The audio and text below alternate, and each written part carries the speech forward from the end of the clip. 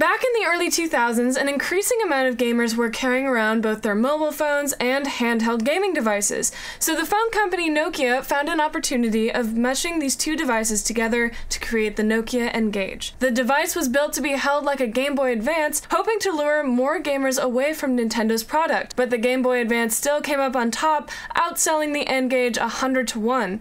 Nokia launched the phone back in 2003 for $300 in the US, but 17 days after after its release, retailers like GameStop were actually offering $100 rebates off of the N-Gage. The device was actually widely mocked for its poor design and weird shape, awarding it the nickname the Taco Phone. The phone was labeled a commercial failure and discontinued by the company two years after its release. So there you go. I'm Lyric Weiss. For more Throwback Thursday, stay tuned with us here at Pentatech.